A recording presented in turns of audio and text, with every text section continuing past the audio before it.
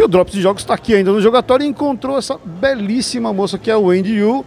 E ela está falando sobre um RPG em que você defende monstros. Wendy, fala pra gente sobre o jogo, o nome do jogo, né? E do que se trata, basicamente.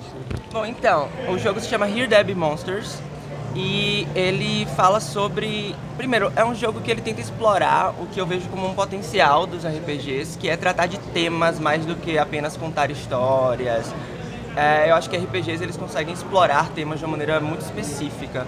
É, e eu queria explorar a ideia da monstruosidade como não só uma coisa específica da marginalização, mas como todo mundo consegue é, empatizar com a ideia de se sentir estranho em algum momento, de se sentir fora do lugar. E eu acho que isso é um ponto que consegue ser em comum entre várias experiências e gerar empatia entre pessoas marginalizadas ou não.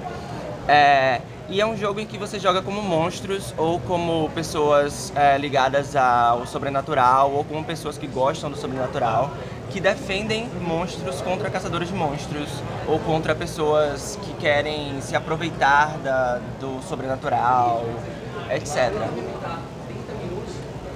É um jogo que ele foi feito para ser simples e acessível. É um sistema baseado em tags, que são palavras que definem seus personagens. É, quando você tem alguma situação é, de dificuldade ou de risco, você rola 2d6. Se você tiver uma tag que se aplique, você rola 3d6 e pega os mais altos. É, as tags são seis tags, duas relacionadas a cada uma das categorias que são ser, ter e fazer.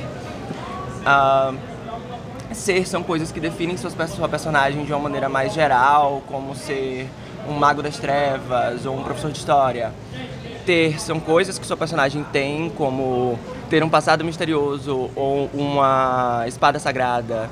E fazer são coisas que seus personagens sabem fazer muito bem, como falar sumério antigo ou escalar paredes. E aí você tem duas de cada.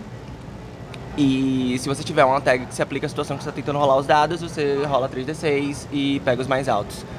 O jogo foi lançado ano passado, é, tem mais ou menos um ano, é, no exterior. Inclusive eu tô tentando encontrar uma editora para lançar em português, porque é um sonho meu, inclusive eu queria ter lançado no Brasil primeiro, mas é, os gringos demonstraram interesse primeiro. É, o ilustrador também é brasileiro, é o Lino Arruda, que é um ilustrador trans que trabalha com a ideia de monstruosidade também. Então é isso, é, vocês podem me encontrar é, na minha lojinha, ou vocês podem encontrar o jogo na, na loja da editora, que é a Soul Muppet. É, e é isso, vocês podem me encontrar no Twitter também, o